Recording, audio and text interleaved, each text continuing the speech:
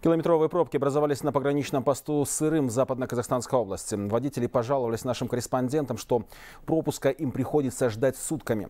На границе с Самарской областью, где берет начало самая популярная для международных перевозок трасса, побывала моя коллега Ботагоз Базарбаева. Международная трасса Самара-Шымкент, граница Казахстана и России. Как мы видим, не доезжая до пограничного пункта Сырым, огромные заторы. По словам самих водителей, пробка растянулась километров на 7-8.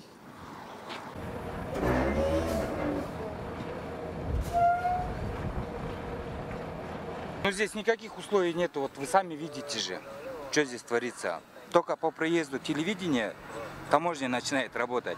Вы сейчас уедете, мы опять здесь будем стоять сутками. В последнее время постоянно получается. Постоянно такие очереди, постоянно сутки полтора, двое стоим. Ни туалета нету, ни мусорки нет, ни мусорников нет, ни баков, ничего нету. Так вот, стоим так посреди поля. Для большегрузов автодорога М-32 самый выгодный маршрут через пункт Сырым транзитного коридора Западная Европа, Западный Китай проезжает до 70% большегрузов, пересекающих российско-казахстанскую границу. Невыгодно ездить через Кустанай, через север, там, во-первых, дороги плохие, и потом, получается, я, если в Москву еду, зачем мне через этот весь Урал крутиться? Поэтому мы ездим отсюда, ближе. Здесь в виду Казахстан. Здесь, да, получается, если даже 1300 километров до Москвы, грубо, а оттуда мне больше километраж получается, потом заправляться надо.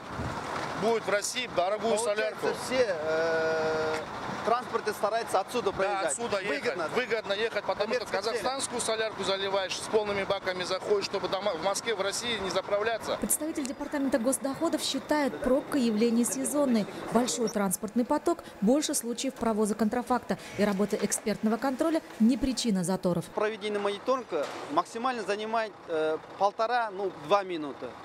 Больше э, никакие работы нами не производятся. Результаты нашей работы э, выявлены много фактов, попытка ввоза запретных товаров.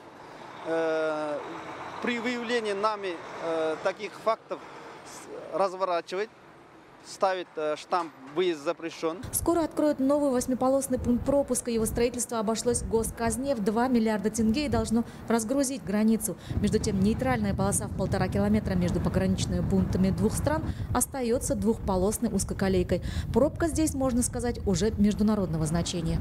Бутагос Базарбаева, Балат Шарлгасов, Западно-Казахстанская область, Хабар 24.